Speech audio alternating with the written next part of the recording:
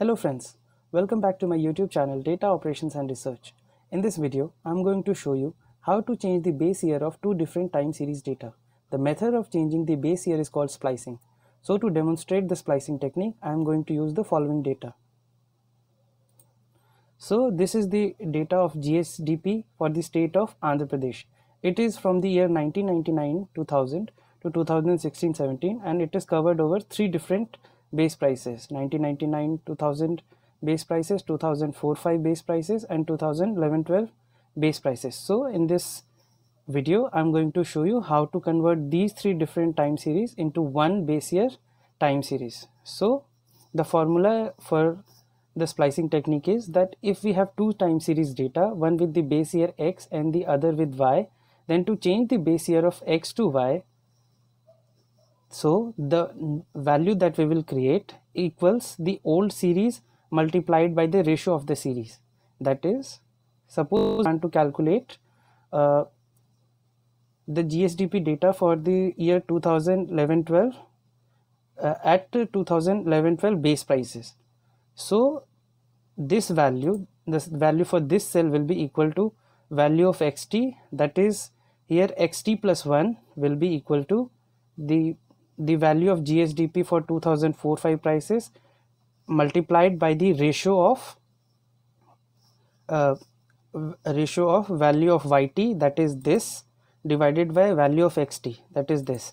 So we if we want to change X to Y that is we want to convert the 2004-5 prices into 2011-12 prices. So this is our X this is our Y. So value of Y T plus 1 that is what we want to calculate this is equal to value of xt plus 1 that is this multiplied by ratio of yt divided by value of xt that is this divided by this. So now the formula is very simple. Equal to we will take xt plus 1 that is this. We will multiply it by the ratio of yt divided by xt so this is our yt divided by xt we will close the bracket and press enter. So we have calculated this value and now we will simply drag it up and we have calculated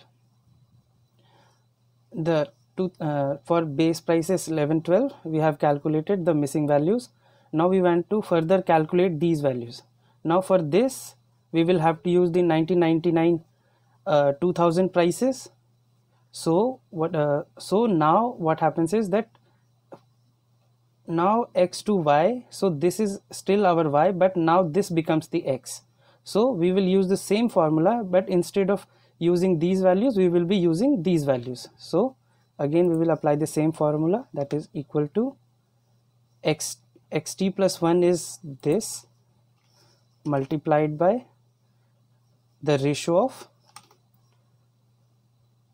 this divided by here and we will press enter. And we have the got the values and now we will just stretch it. And so using the splicing technique we have calculated the entire three different base year series into one base year series. Similarly if we want to calculate this entire series instead of 2011-12 prices we want to calculate at 1999-2000 prices. So again we will use the same formula. However now this becomes our y and these two are our these two are our x's. So it will be equal to so equal to now we need xt plus 1 so we will first use this.